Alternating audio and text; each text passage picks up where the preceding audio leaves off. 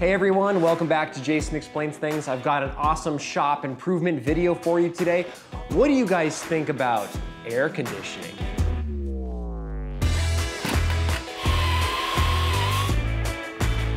Always work in flip-flops. It's working, it's working.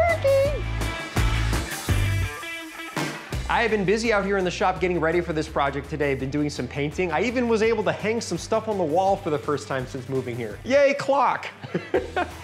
anyway, this is the Mr. Cool DIY heat pump and air conditioner kit. This is the 18K size. They have different sizes for different uh, sizes of shops uh, for heating and cooling. This kit, really, really cool. Kind of not, not cheap, but, but thorough. It comes with everything you're gonna need to install this yourself. You will not have to hire an HVAC person to come out and charge the refrigerant lines for you. There are actually two things you are gonna have to buy separately. Um, one is optional.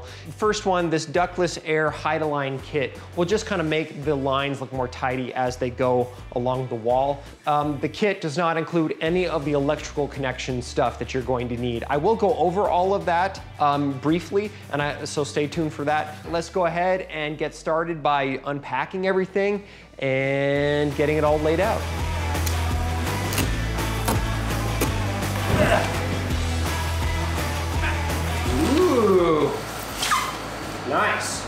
This is the uh, indoor unit that will go on the wall on the inside. Outdoor unit.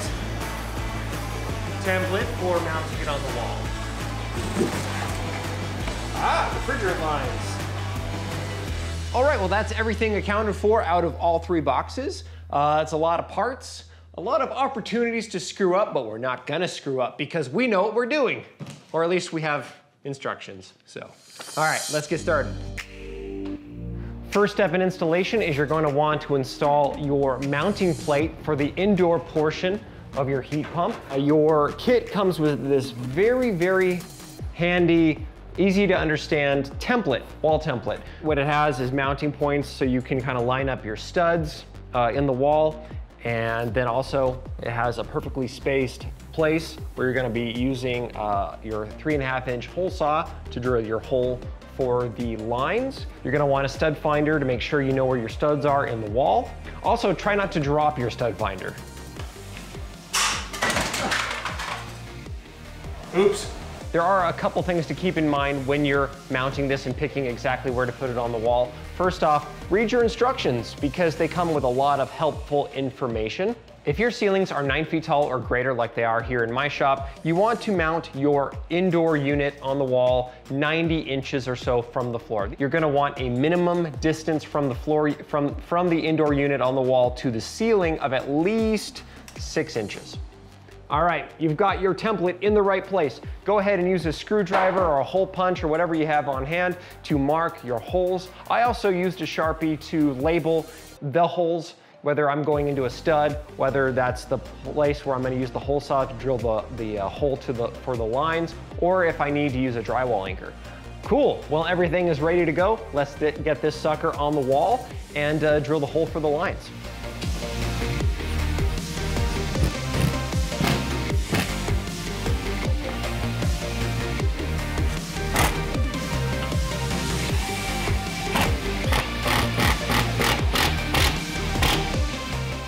I definitely didn't already drill this hole for the uh, for the pilot hole for the uh, hole saw to for the refrigerant lines.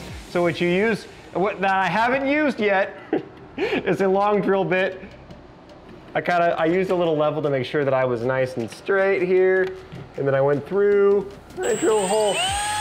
Oh, it's super easy to drill that hole for some reason. Uh, break out your three and a half inch hole saw of choice. This one from Lenox. I like the Lenox ones, they work really great and uh, put a new window in your wall.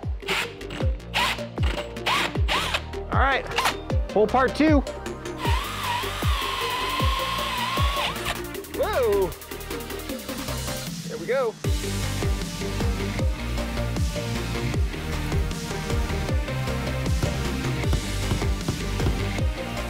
Okay, we got our wall sleeve here nice and trimmed flush to the side of the wall. So something annoying has happened. Um, I'm missing the piece. There's a cap that goes right here.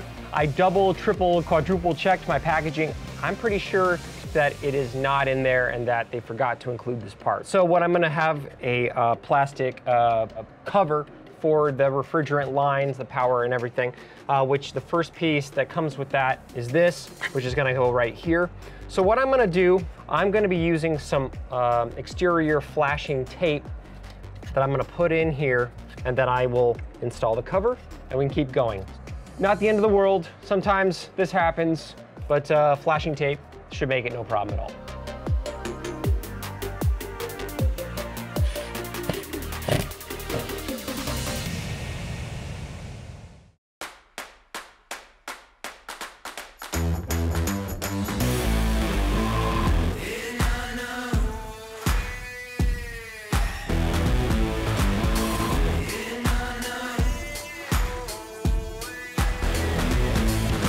It's time to get the indoor unit up on the wall, and uh, then we're all done inside.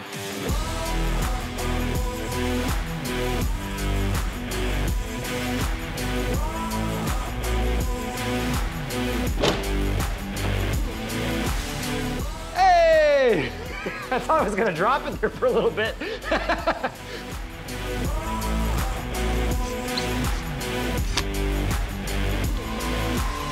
All right, cool. Time to install the uh, rest of the line.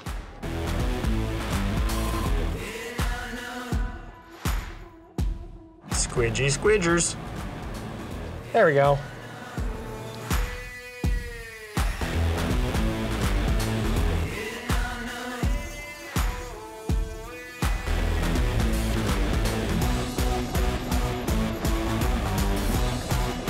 Next thing you want to do is attach your pre-charged refrigerant lines to the lines coming from the indoor unit and uh, yeah, seal them up.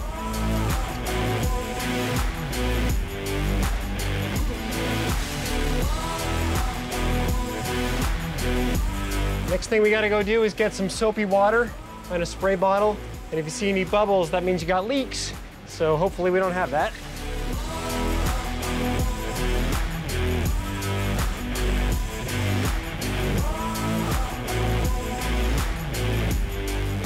Okay, well, time to install our outdoor unit.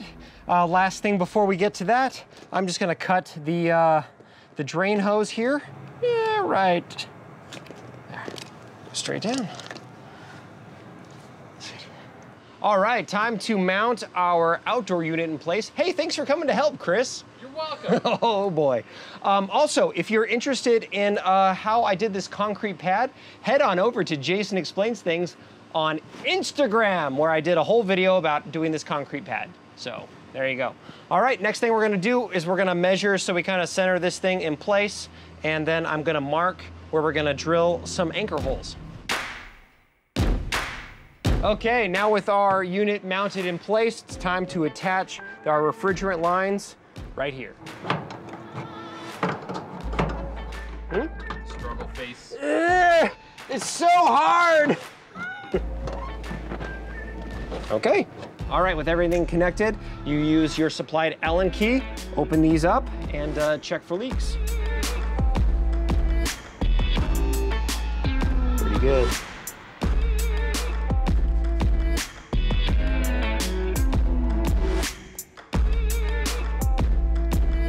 Okay, putting our cover back on.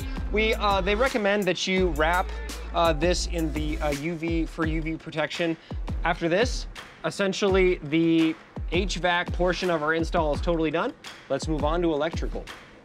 Hey, looking pretty good if I do say so myself. Um, I'm gonna go ahead and do a first run test. Everything is just now hooked up. I'm gonna talk about the wiring a little bit, the electrical portion of this. Uh, I'm not gonna show exactly how to do it because frankly, every time a person like me who's not an electrician shows how to wire something on YouTube, it just invites too much hate. So what I will tell you is that your installation guide will tell you everything you need to know about installing and hooking up the electrical yourself. If you don't feel comfortable doing it, by all means don't. Have uh, an electrician come out and do this part for you. You've already saved yourself so much money. I did have an electrician help me do all this. All right, well, let's go turn this thing on for the first time. Hear it run.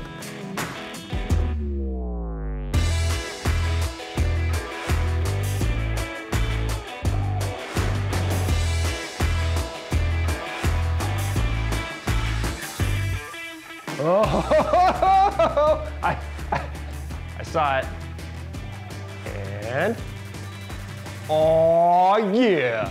Cold air is starting to blow into my face. We got, we got the, uh, we got the temperature right there. It's already cold. It's like it's only been on for uh, maybe a minute, and it's got it's gotten pretty darn cold. That is awesome.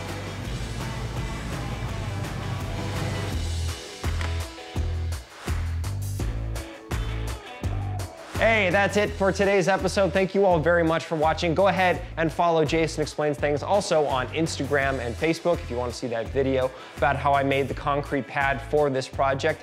Also, please like this video, comment, share it, subscribe, turn on notifications so you actually see when I put up a video. Anyway, until next time, don't forget to do it yourself. All right, see you next time. Also, by the way, lots of other cool videos coming up very soon, including projects about shop improvement, also uh, videos being shot in the shop, like motorcycle, mini bike stuff coming up, uh, lawn renovation stuff for 2020, lots of other things. Okay, now I'm done. Until next time, don't forget to do it yourself. That's my new, you like this tagline? I think it's okay. It is what it is, right? All right. Bye. I'm leaving. I'm leaving wearing my microphone. Bye. Can you still hear me? Click on a video and watch it.